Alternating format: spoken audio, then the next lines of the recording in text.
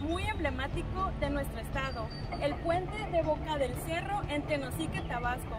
Y estamos en compañía de giratarios de Boca del Cerro, quienes son beneficiarios con el programa Pagos por Servicios Ambientales desde el año 2018 y nos van a platicar un poco acerca de las actividades que han realizado. Pues muy beneficiados con este programa, quiero uh, aprovechar este momento para agradecerles el haberse fijado en nosotros.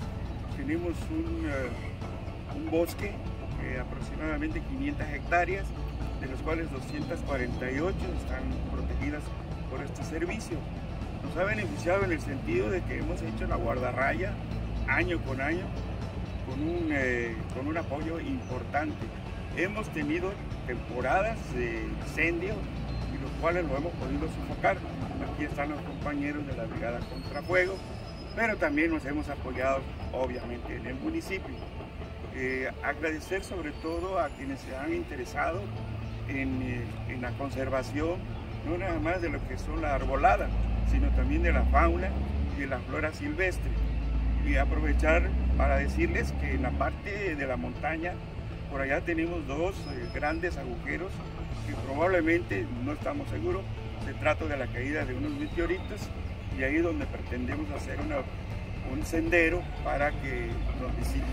Aquí tenemos al, cerca de nosotros a la vegetación, al aire libre,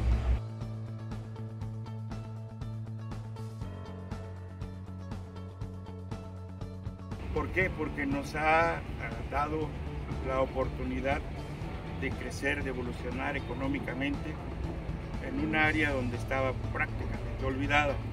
Lo único que teníamos en aquel entonces con el tren antiguo era el paso de miles y miles de inmigrantes en lo que le llamaban este, la bestia.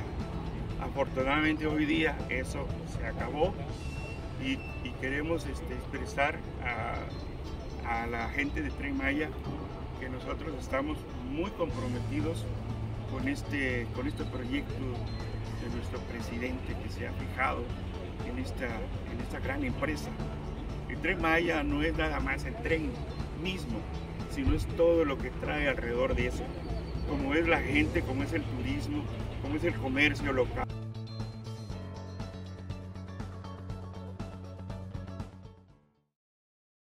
Comisión Nacional Forestal. Gobierno de México.